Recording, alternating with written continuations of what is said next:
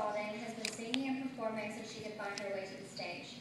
Tonight she will be singing On My Own from the Broadway Les Miserables.